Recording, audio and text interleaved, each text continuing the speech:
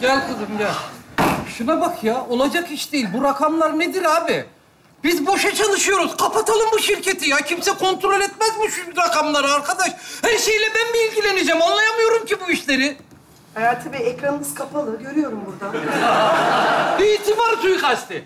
Yemin ediyorum itibar suikasti ya. Ben onun ışığını en sona aldım.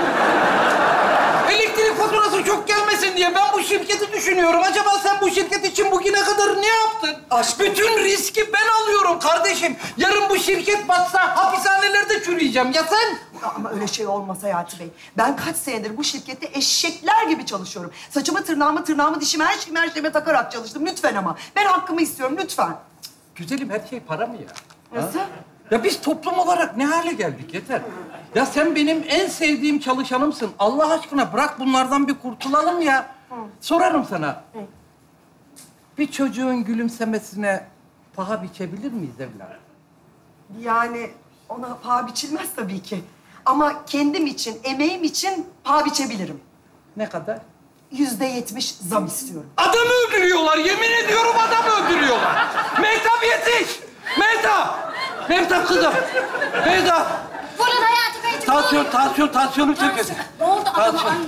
Ay, hiç iyi değilim kızım. Yemin ediyorum. Hiç iyi değilim kızım. Hiç iyi değilim. Bunu açmak da sıkıntı vallahi böyle takı vereceğim. Kaç? Kusura bakmayın. Allah aşkına kaç söyle.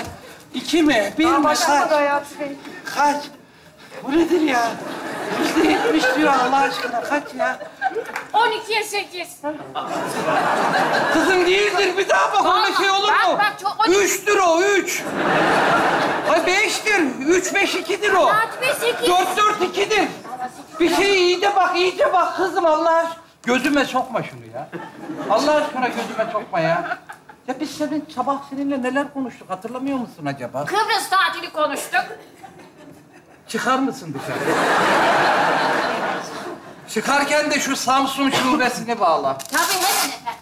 Samsun şubesi, e, benim baktığım şube Hayati Bey. E, hayırdır inşallah. Hayır kızım, hayır. Senin için hayır. Alo, Samsun şubesi mi? Ha, patronunuz Hayati. Evladım şimdi beni çok iyi dinle. Samsun şubesini kapatıyoruz. Evet. Kurtarmıyor evladım, ne yapayım? Kurtarmıyor. Zaten zar zor idare ediyorduk. Şimdi personele yapacağım zamlarda son darbe oldu evladım. Ama şey Hayati Bey, e, tamam Samsun şube e, zor geçiniyor biliyorum ben. Ben sonuçta idare edebilirim. Ya tekrar böyle bir toparlamaya girebiliriz aslında Samsun şubeyle. Hiç gerek yok kızım. Önemli olan bu binada çalışanların mutluluğu. İstanbul olmadan Samsun olmaz kızım. Allah... Alo. Nasıl? Ne? Yeni çocuğun mu oldu? Ne yapayım evladım ben senin çocuğun olduysa? Bana mı sordun ya? Önemli olan benim çalışanlarımın mutluluğu evladım. Şey yapabiliriz aslında. Rakamları tekrar isterseniz bir konuşalım, üstünden geçelim. Kurtarmaz yeter gerçekten ya. Vazgeçelim bu Samsun'dan. Alo. Nasıl? Yeni evlenecekler var ağlıyorlar. Ağlasınlar evladım bana ne ağlar ağlar susarlar. Ha, ha. Evet. Şey, e, benim e, zammı yüzde altmış mı olarak düşünsek?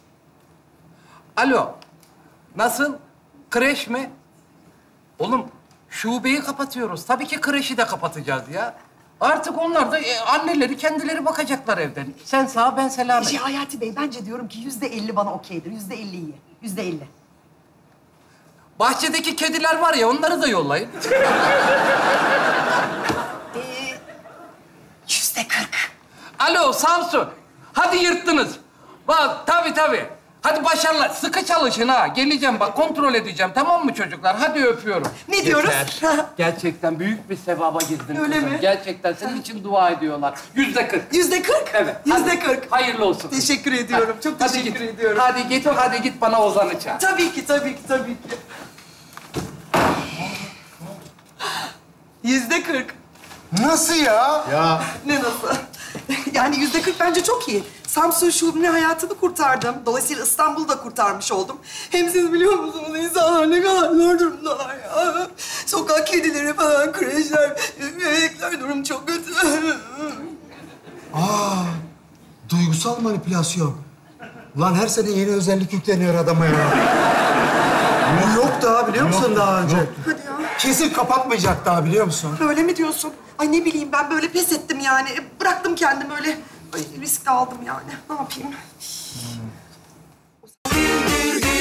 Dünyayı anlamak belki zor bir mesele. Ama hayat geçiyor şöyle böyle. Her şeyden uzaklaşıp gülmekse mesele. Katılarımıza ve de sen de